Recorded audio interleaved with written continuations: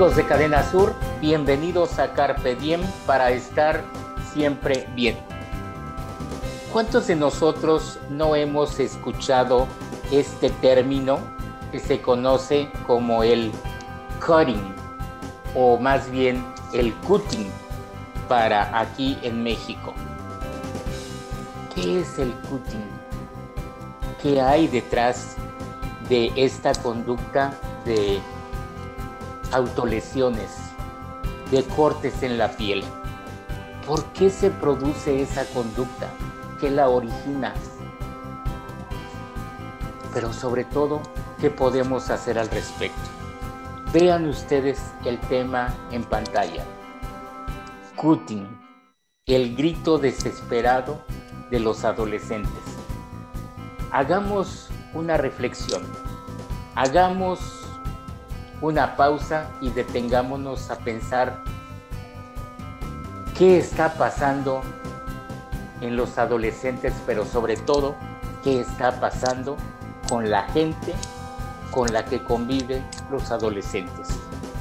Escuchemos a nuestra especialista del día de hoy con amplia experiencia trabajando en esas terapias con los adolescentes que nos dé luz que nos dé esta información que nos hará reflexionar. Y para ello damos la bienvenida a mi querida psicóloga Rosa María Hernández. Rosy, querida, buenas noches, ¿cómo estás? Buenas noches, ah, muy bien, muy bien, aquí estamos muy contentas, estoy muy contenta de estar de nuevo con ustedes y poder transmitir algo que puede resultar muy, muy interesante porque todos tenemos adolescentes, conocemos, si no son nuestros hijos, nuestros nietos o conocidos. Y esto eh, está siendo frecuente. A la, consulta llegan, llegan frecuentemente los padres preocupados y los adolescentes con esta situación de dolor que no alcanzan a entender qué es lo que pasa.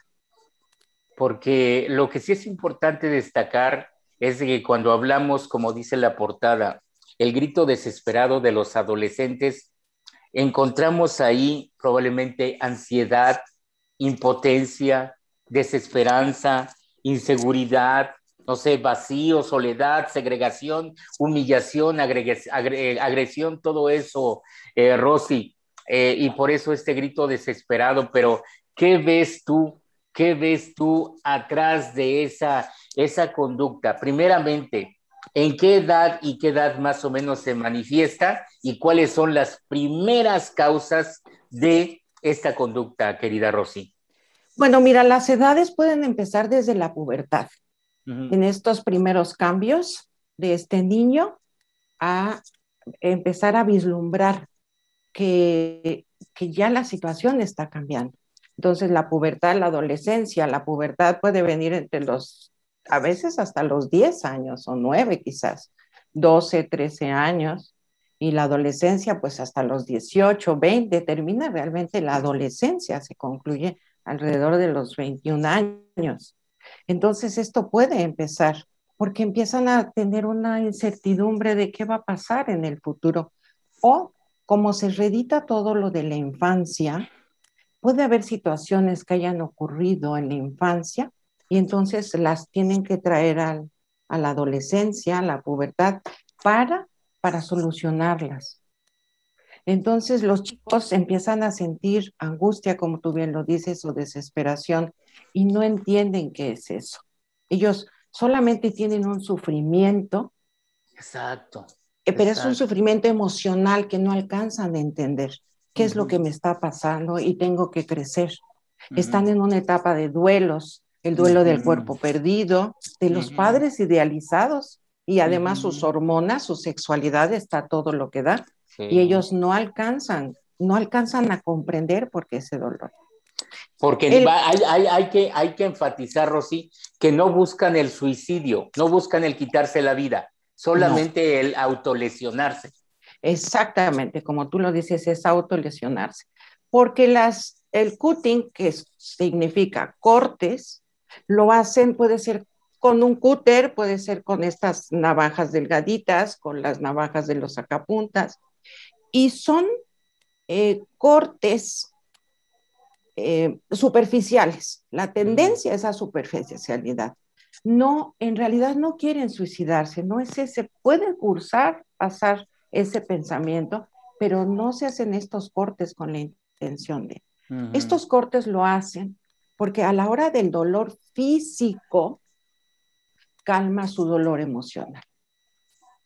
Entonces, es como si a ti te estuviera sucediendo algo muy fuerte emocionalmente y entonces si te cortas, te sucede un accidente, lo emocional se queda atrás. Entonces, ellos intentan aliviar su dolor, entre otras cosas. También puede ser que estén intentando eh, romper alguna dependencia que tengan, ¿no? A ver, parece ser que en la actualidad se les pide ser felices, lograr todo, tener todo.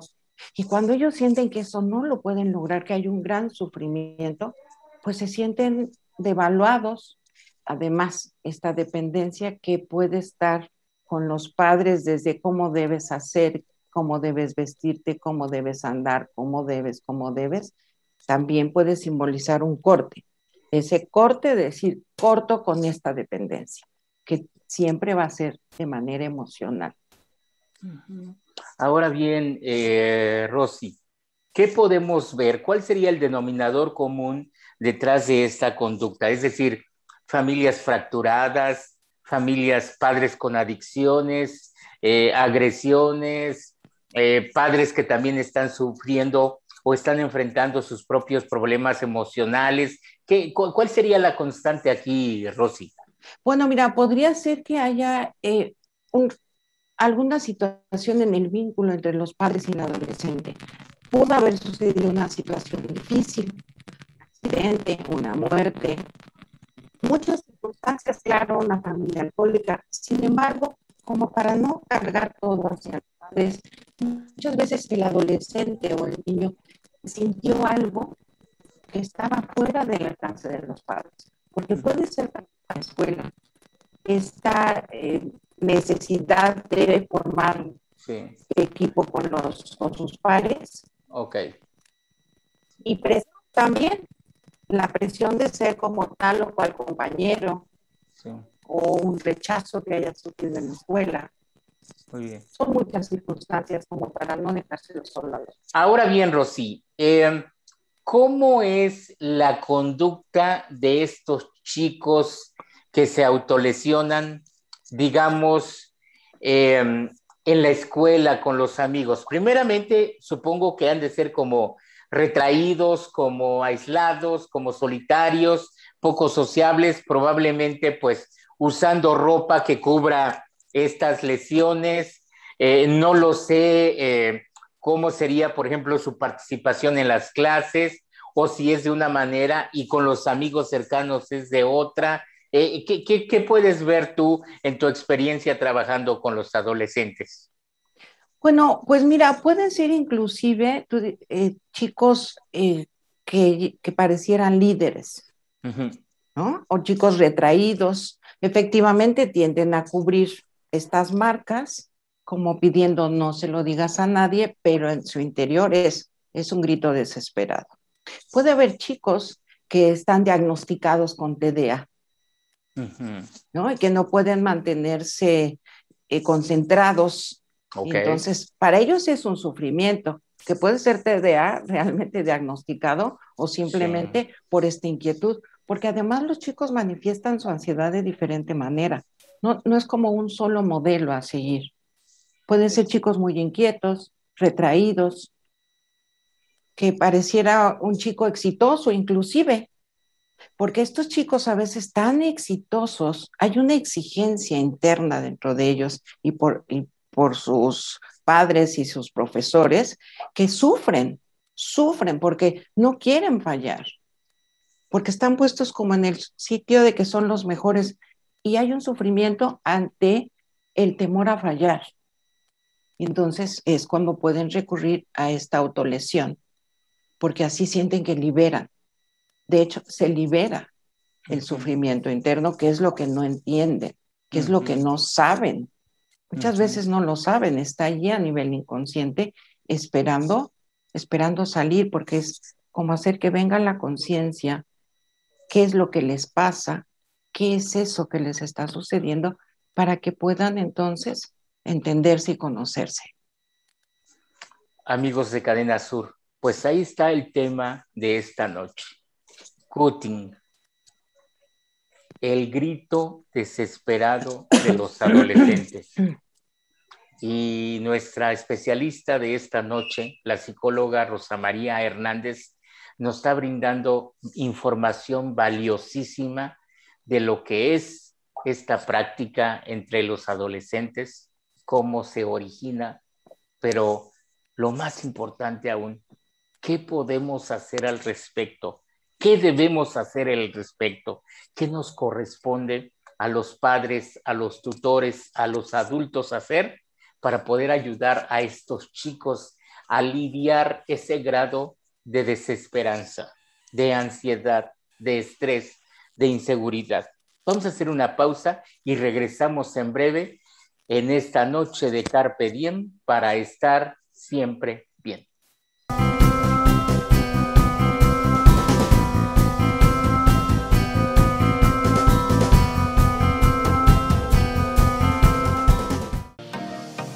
En Jojutla, Hotel Mandala. Amplias habitaciones limpias y sanitizadas.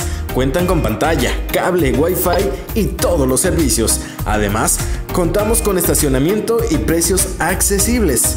Hotel Mandala se ubica en calle Prolongación Leiva 110 letra A, muy cerquita de las instalaciones de Telmex. Reserva al 734 344 1128. Hotel Mandala, tu estancia será segura y placentera. Crepas, las crepas del carrito rosa. Tú ya nos conoces. Estábamos en el mercado de Jujutla y ahora visítanos en nuestra nueva dirección. Calle Universidad 17, entrando por Abarrotera Fuentes. Contamos con jardín, terraza e instalaciones cómodas, limpias y sanitizadas. Las crepas que más te gustan, malteadas y también hamburguesas y hot dogs. Abrimos de viernes a domingo a partir de las 5.30 de la tarde.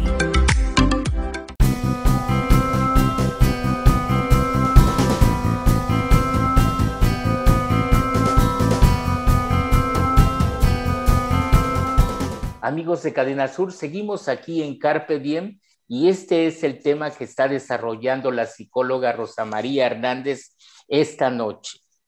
Cutting, el grito desesperado de los adolescentes. Y Rosy, eh, tú dinos, cuando se trata de una situación así como la que nos estás describiendo esta noche, ¿es necesario que la terapia sea familiar?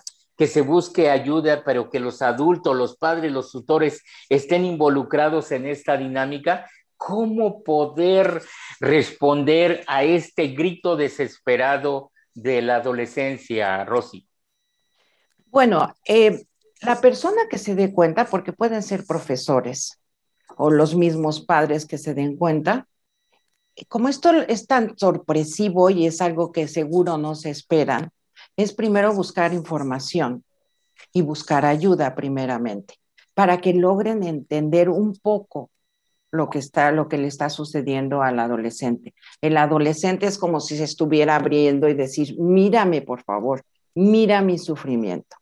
A los padres, pues también entran en una desesperación y no entienden por qué. Y quizás puede ser empezar eh, diciendo, es mi culpa, que me pasó? ¿No?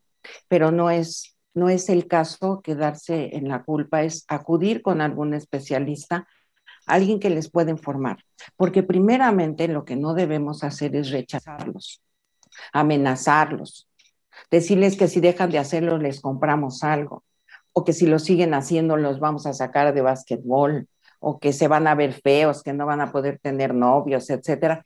Eso es lo primero que no se debe hacer. Por eso, el padre, los padres, lo primero que necesitan es buscar ayuda para apoyarse a sí mismos de cómo van a tratar esa situación.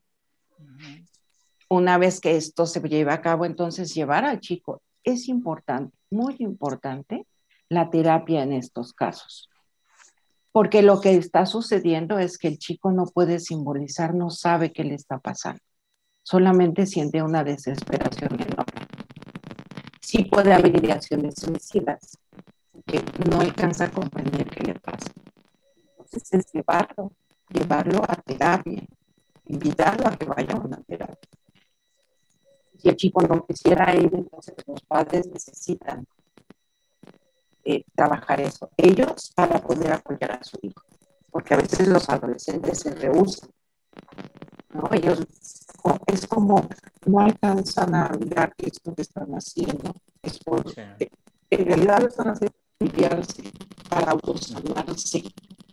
Entonces, a veces la lógica de ellos es que, bueno, sí me siento muy mal, muy desesperado, pero me hago y puedo continuar. Entonces, Muy bien. Rosy, y em, entonces definitivamente desde tu experiencia como profesional de la salud, lo que recomiendas plenamente para tratar este tipo de situaciones es la terapia. Es decir, pueden ayudar otras cosas como el acercamiento, platicar con los chicos, abrazarlos, mostrarles amor, pero no es suficiente. Hay que tener una guía para poder trabajar sobre eso. Sí, sí, Abel, y cuando tú dices mostrarles amor y respeto, mucho respeto, porque este adolescente está buscando ser un individuo independiente, poder conocerse a sí mismo y desarrollarse a sí mismo. Entonces, el amor, pero también el respeto, el respeto a estas ideas que a veces tienen y que no alcanzamos a comprender. Y no es permitirles todo, habrá sus límites, pero sobre todo el respeto. Un chico que no le guste algo, que los papás ir a nadar, por ejemplo, ¿no? Y él no quiere. Es, ese es el respeto. Ahora el amor es importante, pero el respeto, bueno, está al mismo nivel, está al mismo nivel. Claro. Ahora, ¿se da más este tipo de situaciones, digamos, en las geografías donde hay, digo, en las ciudades, en las, en las provincias, en, en otros lados es menos, porque a lo mejor los chicos no tienen tanta información o no saben de esto. Eh, es, eh, no sé, ¿qué, ¿qué, información tienes tú al respecto? Pues mira, es que esto yo no, no lo sé exactamente, si se dé más en una en unos lugares en otros. Pero como esto es algo, es un impulso, es algo que el chico eh, no puede contener, es un impulso, pues se puede dar en cualquier parte. Esta es mi opinión, desde lo que sé. En cualquier parte, porque en las provincias, pues no sé qué tipo de provincias, puede ser que donde haya más desconocimiento, en donde tengan otro tipo de vida, como en el campo, en donde eh, la expectativa de ellos es solamente trabajar este, en el campo, hacer cosas, casarse, tener hijos. Ya, es toda la expectativa, ¿no? Digámoslo así. Entonces saben que tienen un camino por andar ya hecho, diríamos. y en ciudades, en lugares más grandes, donde hay más exigencias. ¿No? Que seas competitivo, que seas feliz, que tengas muchas cosas, el capitalismo, que adquieras más y más. Y a lo mejor ante esta frustración, los jóvenes pues se dan cuenta o piensan que no pueden lograr todo aquello que se les está pidiendo o imponiendo. Sí, creo que esa puede ser la respuesta. Ahora bien, estos jóvenes que, que pues sin querer tienen estas conductas, eh,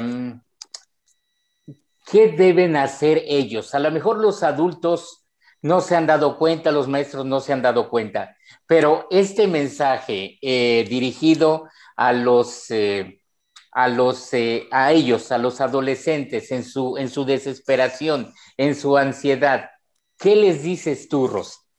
Bueno, yo les digo que esto es un síntoma y como todo síntoma se necesita trabajar. No es, deja de hacer eso como lo podríamos hacer de manera conductual. Eso ya no lo hagas. Es, ven a ver qué es ese síntoma que te está diciendo, qué te está diciendo de ti. Habla, habla. porque esto es importante, que hablen, que puedan simbolizar. Esto que me está pasando es la angustia que tengo quizás al temor al futuro, a no ser como mi papá quiere o a no ser lo que yo quiero. No saben lo que quieren. Entonces, que reconozcas este impulso que no, pueden, no han podido contener y que le pongan palabra y que lo vean como un síntoma, que los síntomas son pasajeros. Los síntomas nos llevan a saber qué está sucediendo y que se puede trabajar y que este síntoma, yo diría, no va a durar toda la vida. Hay que trabajarlo, que se conozcan a sí mismos y se acepten. Querida Rosy, toda la producción de Cadena Sur y de Carpe Diem, una vez más te agradecemos el que estés con nosotros, el que prepares temas tan necesarios, tan vitales para toda la familia, pero particularmente para los adultos cuyos adolescentes tienen esas prácticas. Susana Zaragoza, Paula Loza, Janet Basurto, Eduardo Millán, nuestro director de contenidos Oscar Davis y todo bajo la coordinación general de nuestro compañero Evaristo Torres Ocampo, te dejamos ese sentimiento de, de, respeto, de admiración, de gratitud. Rosy, ¿cuál sería el mensaje final para todo el teleauditorio de Cadena Sur y de Carpe Diem? Pues sería esto que hacen los chicos con el cutting, es un, una palabra de auxilio. Podríamos poner sin ya están pidiendo ayuda ya nos están transmitiendo que necesitan ayuda y que los adultos que estamos alrededor de estos adolescentes escuchemos, no ignoremos, escuchemos. Muchas gracias, Rosy. Muchísimas gracias a ti y a todo tu equipo, Abel. Siempre es un placer para mí eh, estar con ustedes. Un abrazo, querida Rosy. Un abrazo. Gracias, igualmente. Carpe Diem, para estar siempre bien. Nos vemos en la próxima emisión.